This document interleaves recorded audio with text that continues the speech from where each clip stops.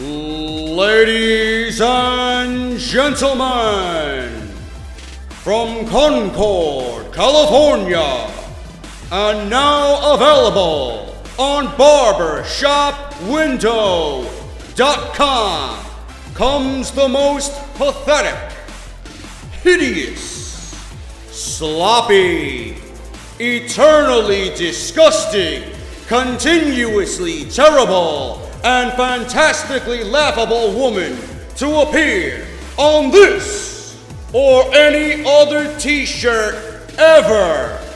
Treat yourself to all red everything. Get off my TV,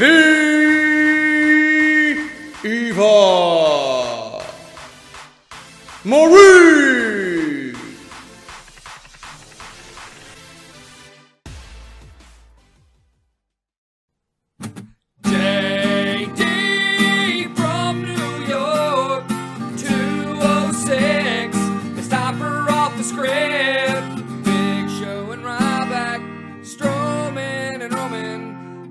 My fucking TV, especially Eva Marie. All you fucking goons, just grab a cold beer. The man of the hour is finally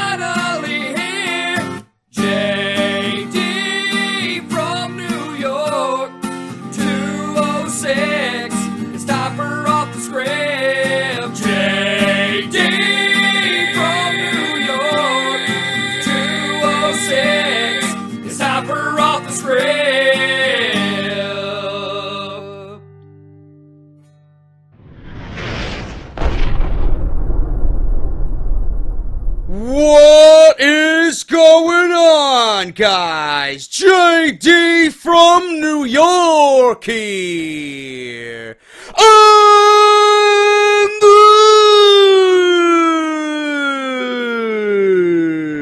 This is the number one fucking podcast in your subscription boxes right here on YouTube.com. This is off the script. Thank you guys so much for joining me, man. Episode 133, part number two for your September 3rd, 2016, man. I am going to fill you guys in on literally everything concerning Alberto Del Rio. I actually rolled my R's there, man. Holy shit. I think this video deserves a thumbs up just for that, bro. Holy shit. Anyway, man, Del Rio, obviously, he is packing his bags back to Mexico because WWE no longer wants him. They no longer need him. He doesn't want to be employed under the WWE flag. So I have all the news regarding Del Rio's status, what he was promised, and there is even a story about WWE threatening to fire Paige unless she broke up and broke the relationship up with Alberto Del Rio. We're going to go over all that plus so much more in today's video, man. You don't want to miss it. I literally have everything covered about this story plus my opinions on top of it, which really isn't much because, quite frankly, I don't give a shit. There's really nothing else to talk about this weekend, and this is the second biggest story of the weekend. I will have other smaller videos uploaded on my channel. Apparently, everybody wants me to make a video on this Roman Reigns situation. Either Roman Reigns getting his vest taken away in some fucking online petition, or the fact that Roman Reigns is the number one ranked wrestler in the world, according to Pro Wrestling Insider. And I laugh at that. I scoff. I mock. I belittle. I point and fucking do my million dollar laugh. no. No. I will do no such thing on Off the Script, man. We're going to save that for a separate video because I think I got to make light of certain situations uh, regarding PW Insider. And I will honestly give you my opinion about who I think is the number one ranked wrestler in the world. It may come to a surprise to many. It might not shock any of you, to be quite honest with you, what I'm going to say, but that will be in a video later on today, probably. I'll get, I'll get recording that uh, you know, early afternoon on Saturday. It'll probably be uploaded on Saturday night. And if you guys have been following me on Twitter, you guys know indeed who I think the number one ranked wrestler in the world is for fiscal year 2015 going on into 2016. Okay, because I'm assuming the polling had to uh, come down to, I don't know, just a couple of months ago. So I will give you guys all that information and my opinions on that and give you some logic behind that. So expect that later on today. There's also a story going around that Jim Cornette is absolutely trashing both Kevin Owens and Sami Zayn for their work in WWE, especially Kevin Owens now that he is the WWE Universal Champion. I'm going to make a video on that as well because it's quite hilarious how Jim Cornette really doesn't go into detail about their work ethic in WWE. It's mainly him and his gripe with both guys and when they work together in Ring of Honor. That's all it is. It's it's a personal distaste for both men. Has literally nothing to do with their in-ring work. It's the fact that Jim Cornette couldn't stand working with these guys in Ring of Honor. And now his old school mentality is really fucking clouding his judgment and he sees these two guys succeeding in WWE. And for some odd reason, he's just fucking hating on both of them. I don't know why. So we'll talk about that. There's another story going around that CM Punk and Colt Cabana have ended a 15 year friendship because Colt Cabana was recently at a WWE taping backstage, hanging out, making acquaintances, and taking pictures with his friends. Meanwhile, CM Punk is literally being sued by the WWE and fucking their medical team, and Vince McMahon is backing Chris Amann their head doctor and trainer as he sues CM Punk for what he said on Colt Cabana's Art of Wrestling podcast a couple of years ago on Thanksgiving Day, where he just came clean about everything that happened with his staph infection and how he was treated in the WWE, man. Some oddball fucking stories coming out. I think I may make videos on all three separately away from off the script. So you guys got a lot of content to look forward to. So make sure you keep your eyes and ears tuned to this channel, man. Thank you guys so much for that. Quickly, Twitter, at JD from NY206. YouTube, same thing. If you're not subscribed here, listen, I don't know what the fuck you're waiting for, man. I, I seriously don't know what the fuck you're waiting for. JD from NY206, number one source right here for literally everything WW related, right here on YouTube.com as we head towards 63,000 subscribers, man. Thank you guys so much. Uh, if you guys want to check out the WWE Slam Crate and use the coupon code JD from NY, man, it is a bi monthly crate. You guys got three different plans. My link will be down in the description below, and you can use my coupon coupon code, man. Save 10% instantly on any one of those three packages. I can't wait to do unboxings with that right here on Off the Script. If you guys want to check out my friends over at Wrestle Crate as well, use the coupon code JD sent me for an instant 10% off on that product as well. WrestleCrate.com and on Twitter at WrestleCrates. Good shit going on there, man. We may do, like I said yesterday on part one, like a Monday Night Raw versus SmackDown type theme with both Wrestle Crate and WWE Slam Crate by Loot Crate. So look forward to that, man. Good times are a coming right here on Off the Script. If you guys want to check out my Patreon page, man, patreon.com slash JD from NY206. Read the mission statement if you enjoy what you hear right here on the podcast, if you enjoy what you hear on iTunes, if you enjoy my video game content whenever I upload uh, uh, or upload video game entertainment for you guys, if you guys want to donate and pledge, it is not an obligation. You guys can do so whenever the fuck you want. And it's there for you, man. Read the mission statement, read what I'm about and what I'm doing, where I want to go with this, and why I'm doing it. It's great stuff, man. Really emotional stuff. That's patreon.com slash JD from NY.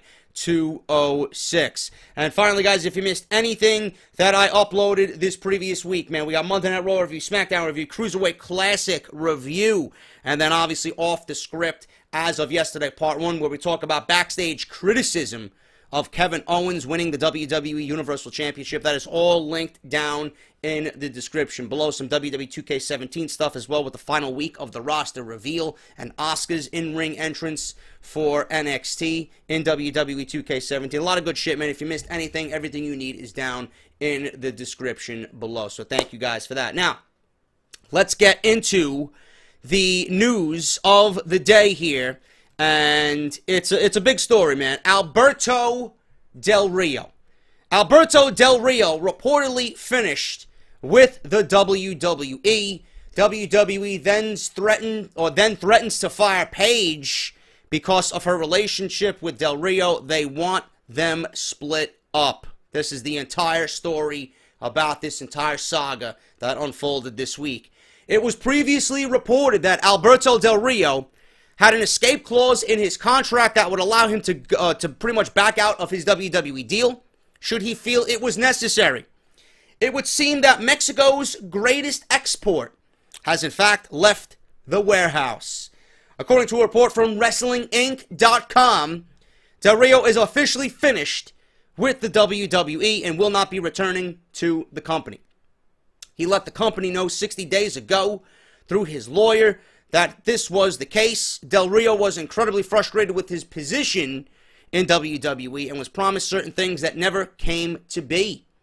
Upon his return to the company in 2015 at Hell in a Cell, he was told that he would be given a main event push.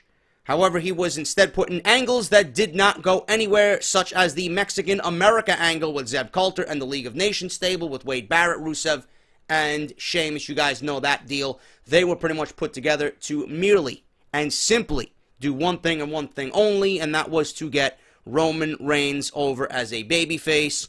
All of that, plus all four of those guys as a stable, failed, and they failed to get Roman Reigns over because as we sit today, Roman Reigns is still the most hated man in the industry.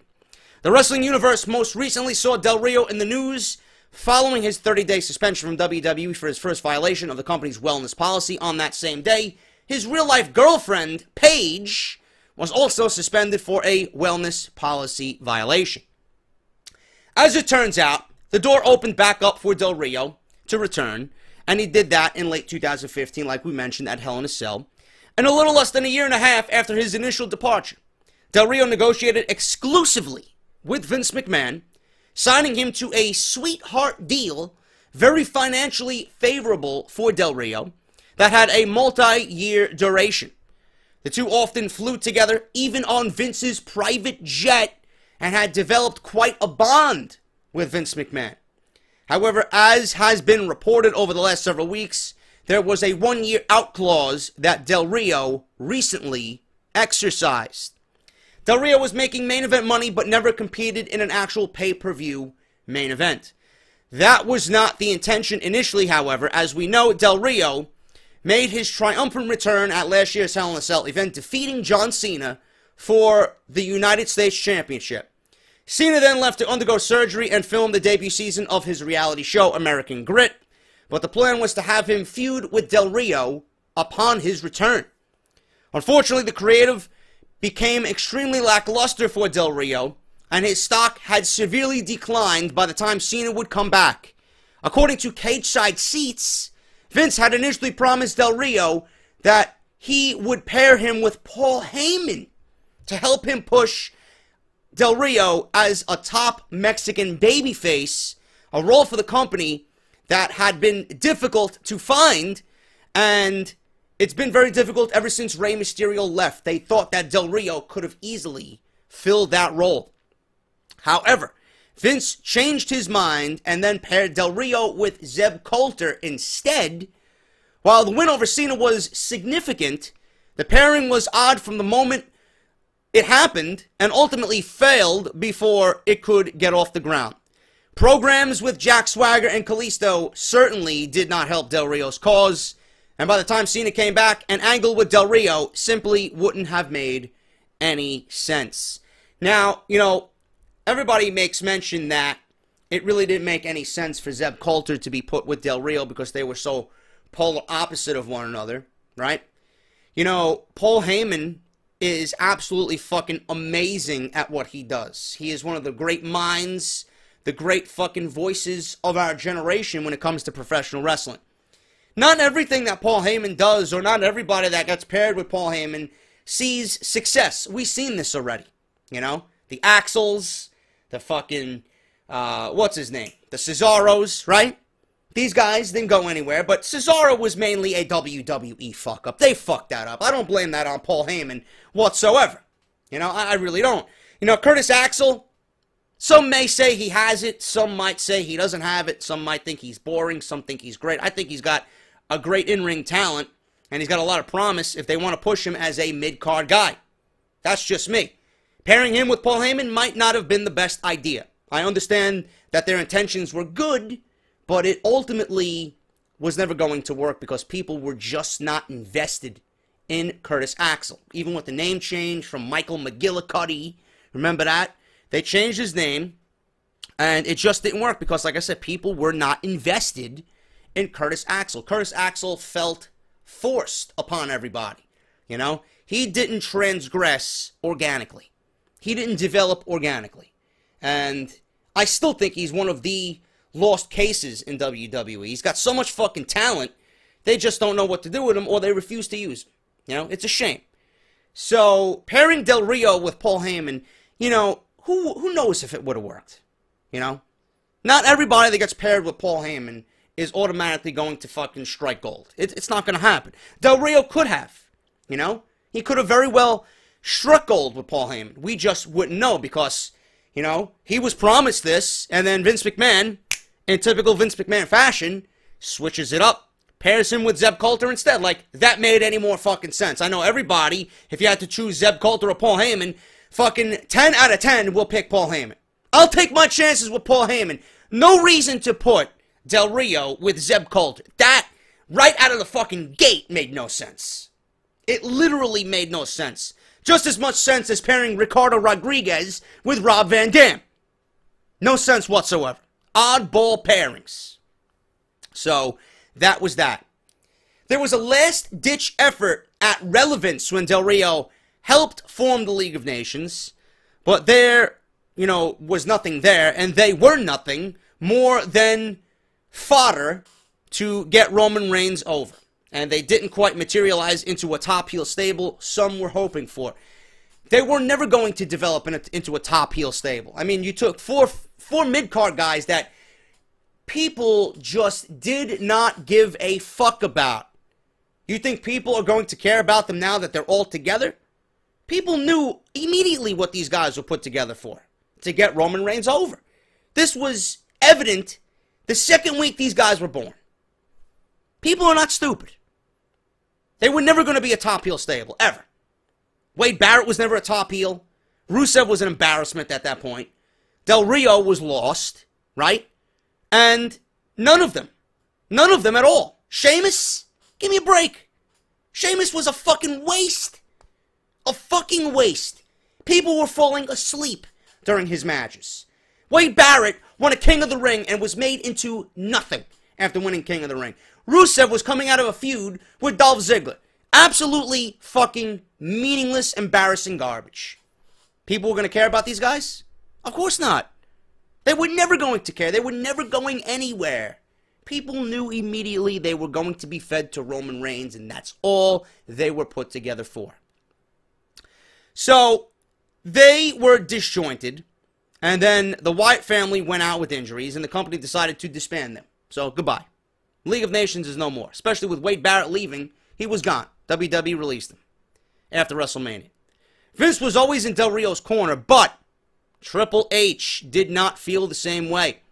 McMahon wanted to push the American, uh, or the Mexican aristocrat, I should say, again after the brand split, but Hunter put on the brakes, and nothing ever came of Del Rio's push.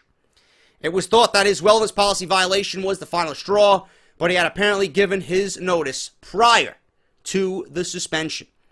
As noted, WWE has needed a top Latino babyface to carry the torch for that audience, and many believed bringing him back in, in 2015 as a heel was a mistake.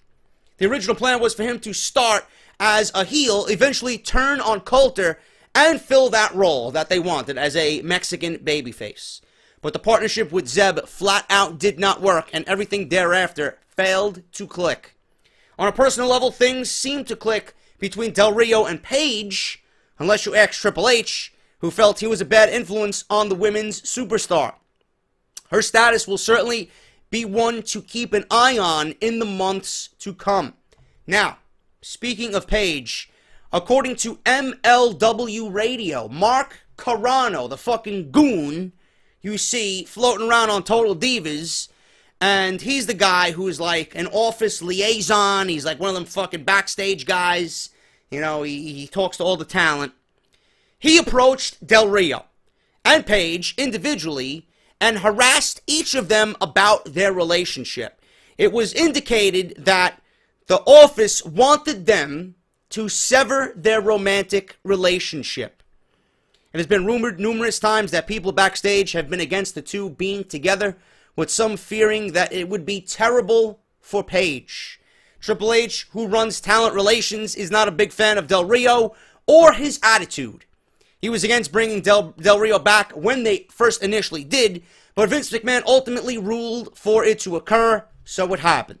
Triple H has since tried to pull Vince back from giving Del Rio a shot at the top, because of the issues he gives the company backstage.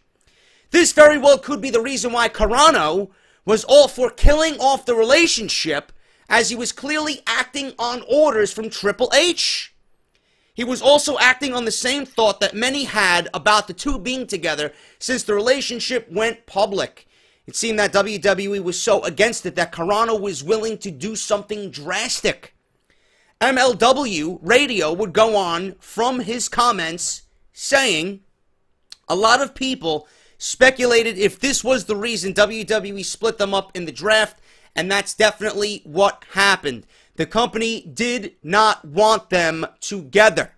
They split them up in the draft by design, and they threatened to fire Paige if she didn't break up with Del Rio. Technically, under various bylaws, WWE cannot do this. However, both are not originally from the United States and do not have a citizenship in this country. That means the WWE can, can threaten to kill off their contracts in this way if they so desire. Therefore, Paige surely knows that they could go that far if they wanted to. Pretty sick fucking shit. While most would believe WWE would be going way too far by threatening to fire someone over their relationship, it does appear the company cares about Paige and feels Alberto Del Rio is bad for her. It's initially what I thought to begin with. I'll give you my thoughts in a second. They are not willing to lose her, especially when they know she still has a lot of potential. However, her choice in relationship causes friction in the WWE, and it seems like it does for her personally going by the drug failure alone. That said, it will be interesting to see how things go down in the future with Paige and the WWE. I'm going to make this quick and to the point, okay? The end of this article says exactly what I was going to say before I even came on here, okay? I don't give a fuck about Del Rio in WWE. I just don't. I don't. Ever since, and I've said this many times, and I don't want to beat a fucking dead horse, I don't fucking care. Ever since they took the fucking white towel away and the fucking glittery entrance and the cars and his ring announcer, this guy was absolutely fucking garbage in WWE. He was just like the rest. No identity and nothing stuck out about him that made him unique and special. They took everything away from him just like they took everything away from Damien Sandow, just like they took everything away from Wade Barrett. They took everything away from those guys that made them special. And they were nothing but fucking manufactured WWE garbage for the rest of their careers. I don't give a fuck about Del Rio in the WWE. Now, that doesn't mean I don't give a shit about Del Rio. I want to see Del Rio succeed. Not everybody is cut out for WWE. Not everybody is cut out for the political garbage that happens in the WWE. If you're not liked, just like you are in the real world, if you're not liked by a higher up or a boss that you're working under or you're working for, you are not going to get anywhere. If Triple H does not like you, you will eventually go down. No matter how much Vince McMahon adores you and loves you, you know, if you're going to have Triple H, who his who, who is his son-in-law.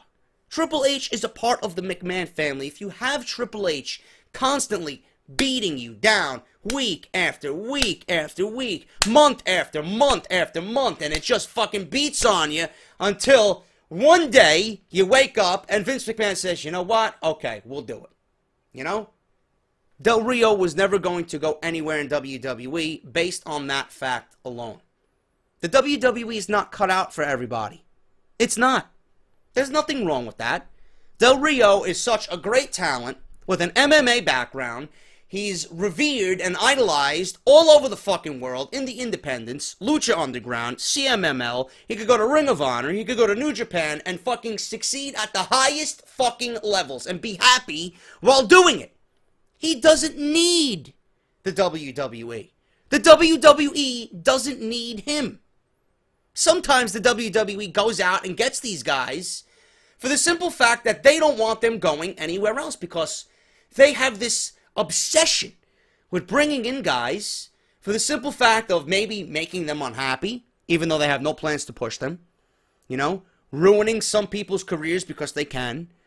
You know, keeping talent from other organizations for the simple fact that they don't want them going to these other organizations and they want to keep them under their contract, under lock and key, and they don't want them doing anything until they get old and their stock drops and then nobody gives a fuck about them.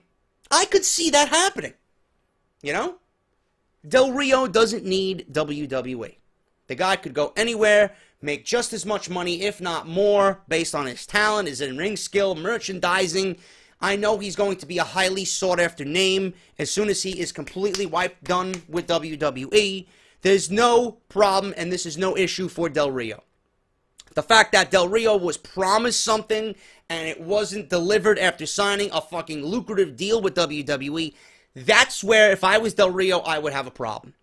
That's fucked up. If you're going to promise him main event pushes, world titles, especially for the fucking money you're offering him and the money that he signed for, why aren't you going to live up to your end of the bargain? I don't get it. And then promising to put him with fucking Paul Heyman.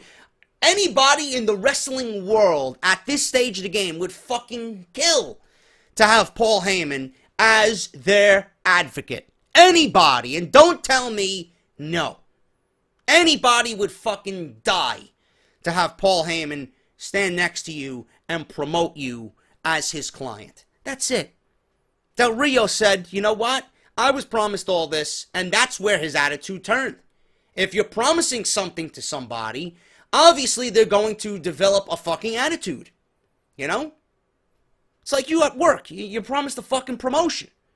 And you know you're getting a promotion, and you know you worked your ass off for this promotion, and you know people fucking need you. Your job needs you. Your fucking peers, your, your coworkers need you. They respect you.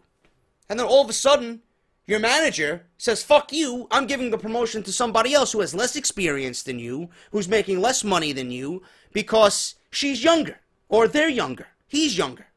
It's fucked up. Of course I would say something. Of course you would say something. Of course Del Rio. His attitude changed because he was promised something and he was never given what he was promised. It's regular, ordinary, basic human emotions. You don't promise something to somebody and then take it away. Simple. Simple as that. So, Del Rio, I actually agree with him. It's, the, it's Triple H who didn't agree with him. Triple H thought he was a bad, a bad influence. Triple H thought he had a bad attitude. You know? He's just doing what any professional wrestler would do. You promise him something, he doesn't get it, he signed the contract for it, and then it never happens. League of Nations, jobbing to Roman Reigns, no identity, no character, United States Championship run after beating John Cena, fighting Kalisto and Kalisto and Kalisto, and then drops off the face of the earth. Nothing. Nothing. Of course, if I was Del Rio, I would be upset. But listen, take this as a lesson learned. WWE does not want you. They don't need you. You don't need them. You don't want them. Make your money for the rest of your career doing what you did before you came back to the WWE for round two. As for Paige, listen, it's fucked up that WWE is going to fuck with somebody's relationship, but honestly, I agree with WWE in this sense. Del Rio is what, 36, 37 years old? Paige is what, 22, 23?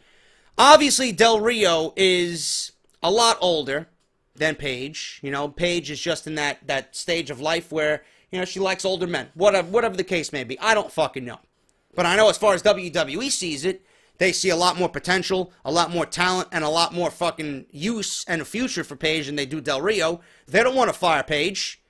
they find Paige to be much more beneficial to them than Del Rio is at this stage in life and this stage of his career. So obviously they're going to keep Paige and get rid of Del Rio. But to threaten to fire her, that's fucked up. That's fucked up. I don't think I, I don't think anybody can do that. But, but but being that she doesn't have a fucking citizenship here, I didn't know that. Del Rio doesn't have a citizenship here. I didn't know that. You know, would WWE go to those lengths to fucking really stick it to them and fuck both of them over? I don't know. I don't know, man. I honestly don't know. But the reason why Paige is sticking around and the reason why Paige abided to WWE's ruling and demands because I know she values her job. I know WWE values her. She has a bright future. She's young. She's got a whole fucking career ahead of her. They don't need Del Rio. Paige is more valuable to them than Del Rio was. So just leave it at that. But threatening to, to fire somebody unless you break off a relationship, you know, it's fucked up. I never heard of any I never heard of anything like that. I honestly never heard of anything like that. But it is what it is, man. That's that's pretty much everything. That's covering everything you guys need to know about Del Rio and Paige and what went on behind the scenes, the scenes, what Del Rio was promised, what they said to Paige, firing Paige, possibly if she didn't break up with Del Rio. Unbelievable shit, man. Unbelievable fucking shit. Rumor. Wheels are in motion for Goldberg's WWE return. Ever since Bill Goldberg was officially announced in the promotion for WWE 2K17, there's been a lot of speculation about his potential return to the WWE. The WWE Universe is still holding out for a return from Goldberg. That was proven as the main event of SummerSlam ended with Goldberg chants filling the Barclays Center. There have been a lot of rumors about Goldberg returning to the WWE for one more match, going back as far as WrestleMania 32 several months ago. However, a new report is claiming that it, mightily, it might finally become a reality. According to a report from TMZ Sports, the former WCW and WWE champion and WWE are talking about potentially expanding their working relationship beyond the work that is being done for WWE 2K17. Apparently, Goldberg has been in touch with WWE officials, but the details of these conversations aren't clear as of this writing. All that has been said is the wheels are in motion. The potential for a match is likely, but something like a WWE Legends contract, appearances on WWE TV, or a WWE Hall of Fame induction seems much more likely. And that's pretty much where everything is going to be sitting right now. And in those things, it's more likely than coming back and returning to the ring for a match uh, after over a decade away. So the wheels are in motion for Goldberg to come back. TMZ reported this earlier in the week. Nothing is set in stone yet. Nothing more than just speculation and talk. If every if everybody wanted to be a betting man, I'd say, in my honest opinion, it would be wise to bet on a Goldberg return. Goldberg will be back. I don't see him back this year. I do see him back closer to WrestleMania season. That's just my opinion on that. But being that everybody that has worked with WWE 2K17 in the marketing scheme for that game, they always come back around and do something with the WWE. So it happened with Warrior, it happened with Sting, and it's going to happen with Goldberg. It's just a matter of what time is right, what, you know, when the time is right, when and usually that time is around WrestleMania season. So the wheels are in motion for Goldberg to come back to the WWE. Ryback reveals what WWE offered him during his contract dispute with the company. I don't know what's going on here, but apparently Ryback must be on some kind of drugs. I don't know if this is legit. I don't know if he's fucking trolling people. I don't know, man. This is what Ryback had to say. Back in May, Ryback entered into a very public contract dispute with WWE, which led the company to send him home for the last three months of his current deal. It wasn't until three weeks ago that Ryback's contract with WWE officially expired.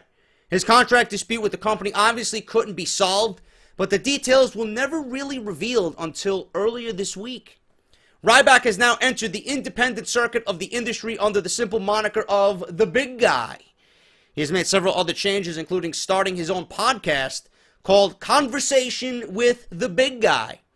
During the first episode of his podcast, he went in depth about his WWE career and the contract dispute that led to his departure from the company. You can listen to the full podcast online. He also revealed that his departure from WWE was not about a money issue. Just so everybody knows, I walked away from the WWE. He says the contract offer that I walked away from was a three year, $1.5 million contract. Apparently, he was unhappy with the taxes and the travel expenses. As you guys know, WWE does not pay for travel expenses for their main roster talent. You have to worry about that on your own, and it comes out of your pocket. We, meanwhile, the NXT people, the NXT wrestlers, and the men and women down there, everything is paid for when they go on the road. Buses, flight, hotel, everything is paid for for NXT. So you, you figured it would be the other way around. I don't know. I don't know what's going on, but uh, I'm assuming they figured, you know what, those guys in developmental aren't making much money, so they are going to provide that extra leisure for them. Meanwhile, the guys on the main roster are making so much more money, you know, contract wise, uh, you know, downside guarantee and, and merchandise and all this shit. So they figured on the main roster that most of these guys can handle that type of thing. But it, it really is tough, man. In, in any other sport, you look at MLB, you look at NBA, you look at the NHL, NFL, everything is paid for. Hotel and travel, everything is paid for by the team. The teams are paying for their players to go here and go there and make sure they're in a fucking good hotel, a good hotel room and everything else. Make sure they get to the next city on time and on you know in a, in a, in a comfortable way. This is unlike anything I've ever I've I've ever seen. WWE not paying for anything for their main roster guys. But Ryback should have known that going into this, man. He, he knew this already. You know, he thought he was bigger than he really was. You're not a John Cena, you're not a Seth Rollins, you're not a Roman Reigns, you're not gonna be flying on Vince McMahon's private jets going to these fucking shows. Who the fuck you think you are? You've done nothing. You may you may have bust your ass to get to where you are, but you know in the grand scheme of things, you're really nothing. The company doesn't need you. The company doesn't need you. Everybody, like a Ryback, is expendable to the company. That's what he didn't understand. In his mind, he was a John Cena, Seth Rollins, Roman Reigns esque type talent. No, you're fucking Ryback. Your merchandise sales weren't through the roof. Nobody even gave a fuck about you when you came through the curtain. Who are you? Nobody. Apparently, he was unhappy with the taxes and the travel expenses. So he felt undervalued and said that he and Triple H had many heated discussions about it. Ultimately, he said he was grateful to WWE for the chance. Now, um, I believe he went on to say as well that WWE had booked him to beat AJ Styles at WrestleMania 32 or some shit like that. I don't know what the fuck it was about. I really didn't read too much in depth because, quite frankly, I don't give a shit about Ryback. I just find it funny, like how he said it really wasn't a money issue. Of course, it was a fucking money issue. You want WWE to pay for your hotel and your travel. It's a money issue. It is a money issue. Simple. He can deny it up, down, left, right. It's not a money issue. He walked away from a three year, $1.5 million contract. Some guys in WWE don't even make that.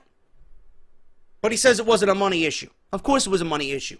It came down to keeping money in your pocket. It came down to WWE not willing to budge and pay for this guy's hotel and expenses and his travel. It's a money issue. Vince McMahon was not willing to do that for a Ryback. Simple. And Jim Ross always states when a WWE superstar or a wrestler in general leaves a company, it's one of two things, if not both cash and creative, the two C's. He's not lying. He is not lying. In this instance, it was cash. That's it. No matter how much he wants to dispute it, it was cash that drove Ryback away. Finally, guys, John Cena won't be taking his hiatus until October. Will he be at Backlash? Will he be on WWE television? I don't know. Let's find out. After losing his match at SummerSlam to AJ Styles, John Cena took off his armband and left it in the ring as he left the Barclays Center some type of symbolic meaning. Didn't mean anything. Cena will be back. And I will talk about this next week on Off the Script when I talk about the Backlash preview and predictions. Cena didn't show up on WWE programming at all last week. Naturally, that led to a lot of speculation about his future in the WWE, especially considering it has been reported that he will be taking a hiatus to film the second season of American Grit on the Fox network this fall. According to a report from WrestlingInc.com, John Cena isn't going anywhere yet. Apparently, the filming for American Grit doesn't start until mid October, so Cena will remain on WWE programming until then. The most recent rumor on Cena's next feud claimed he'd be continuing his feud with AJ Styles, but the latter is due to face Dean Ambrose at Backlash for the WWE Championship. Since Backlash is less than two weeks away, Cena versus Styles may continue after Ambrose versus Styles, but the greater question is if the Phenomenal One will be the WWE Champion in a few weeks. It would be interesting booking for WWE to give this, you know, to give AJ Styles a huge win over John Cena just to put over Ambrose as WWE Champion. This week's SmackDown should make Cena and the situation with John Cena more clear.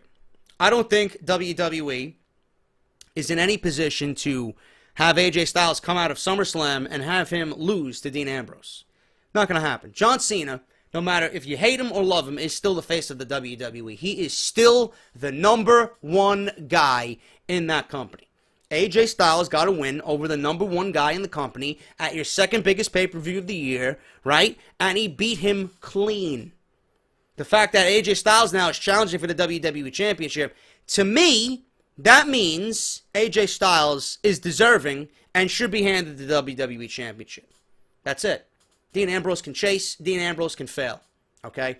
You can even weave a storyline into there from Monday Night Raw and have Triple H pretty much listen, the, Triple H went after Rollins and they went after Reigns. Who's to say Triple H can't go after Dean Ambrose and just infiltrate SmackDown? He can do it. Weave that into the Monday Night Raw storyline. Have Triple H fuck over Dean Ambrose for the WWE Championship. He already fucked Seth Rollins and Roman Reigns out of the Universal Championship. Why not have Dean Ambrose get fucked by Triple H as well? Or someone doing the bidding of Triple H. And you can weave the interpromotional storyline into that and have the Shield reform. Dean Ambrose now wants to get his revenge just like Rollins and Reigns do. And Triple H can assemble his boys, NXT, whether it, it's a full blown invasion, I don't know, but it could certainly work. WWE has the pieces to be creative about all of this. But I do expect AJ Styles to be the WWE champion. Now, I don't want to get too much into this because I want to talk about this next week when we talk about Backlash. But obviously, if John Cena is going to be out, yeah, John Cena is going to take a hiatus in October, right? And John Cena is going to probably come back in 2017 fully refreshed, ready to go. Who do you think his first feud is going to be? Obviously, it's going to be AJ Styles. Obviously, AJ Styles is still going to be the WWE champion. John Cena is coming dangerously close to Ric Flair's record. What do you think is going to happen? AJ Styles got his clean win over John Cena. What happens next when John Cena comes back and reignites his feud with AJ Styles? Not only is AJ Styles going to be the WWE champion, but John Cena's going to win, John Cena's going to get his win back. I'll just leave it at that. I'll just leave it at that. There's no way WWE is going to allow AJ Styles to beat John Cena clean twice. If they go and the feud is reignited, reignited, and AJ Styles is indeed the WWE champion, need I say more? That's it. That's all I'm going to say on that. I don't want to jinx it, but I could certainly see WWE going in that direction. That's it, guys. Thank you so much. Off the script part two is in the books. Tomorrow, what I got original plans for Sasha Banks and the WWE Women's Championship and her title reign revealed. SmackDown has killed Daniel Bryan and The Miz angle from Talking Smack. It is no more. Dead. Why? We'll talk about it tomorrow. Plus, Brock Lesnar versus Randy Orton. The rematch is set for next month in Chicago at a fucking house show. Why? And what is WWE's reasoning for this? We'll talk about that. Plus, hopefully, some more WWE news, man. There really is nothing this weekend. It is fucking bare. So you got to bear with me, man. But that's all I got for part two. If you enjoyed the video, hit that thumbs up. Thank you guys so much. Check out the description for everything you guys need. Patreon. You got Twitter, YouTube. Subscribe and follow me on Twitter and YouTube. WrestleCrate. WWE Slam Crate by Loot Crate. Check out the videos. BarbershopWindow.com for your Eva Marie t-shirts and everything else on my online shop, man. BarbershopWindow.com. And finally, I'll be back with Off the Script tomorrow, part three, episode 133. Until then, guys, thank you so much. Hit that thumbs up, and I'll be back on Sunday morning with part three of this podcast. Until then, I'm JD. I'll talk to you guys later.